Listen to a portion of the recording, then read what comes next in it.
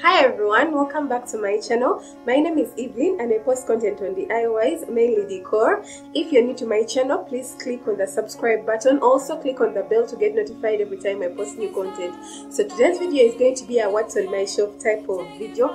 I'm going to be showing you the little knickknacks I have on my shelf, where I bought them and how much they cost. I recently painted my shelf, painted and distressed my shelf. That's why I thought why not share this video. So without further ado, let's get into the video. So this is the overview of the shelf.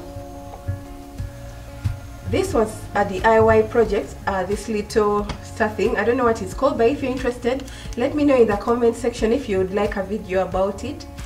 The two vases were from Quality Supermarket Naalya, and the tall one was 75, the shorter one was 65,000. Um, the plant was from Senana and it was 13,000. These were some books I had lying around. Onto the next shelf. This little vase was in my last haul and this was from Aristoc at 45,000. Um, this little gramophone was a gift from a friend. I love it. It's like a tiny Grammy. And this black clay thing was from Mega Standard. This was um, cream. I spray painted it black. And this was 22,000. I still they still I think they still have them. Then the vase was from Kenjoy Supermarket. This was 45,000. The little plant was from Senana at 13,000. I spray painted the um, the base gold. Then the little pyramid was from the Egyptian fair and it was, yeah, it was a set. Then onto the next shelf. This was also a DIY project, that little star thing.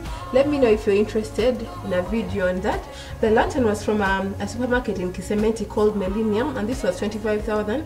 These are some books I had lying around. The little plant was from Senana and that was 13,000.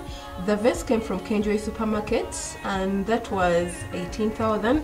Onto the next and last shelf. So the the vest, the grey and white vest was from Kenjoy Supermarket at 35,000. The little vest was from Naalya Quality Supermarket Naalya, 8,000. This frame was from Mega Standard and it was 22,000. The little African candle holder also from Mega Standard. I think it was 20 or 18. Yeah, I st they still have them if you're interested. Then the little plant, I've had that. It's I also got I got the little plant from Senana. I just removed it from its um, pot. Then the vase was from Quality Supermarket Naalya. It was clear. I spray painted it gold and it was 22, I think 22,000. So that's it from my shelf today. My shelf looks nice right now because I recently distressed it and painted it. It looks more expensive than it looked before and it's brighter so it was a very good move. Thank you for watching.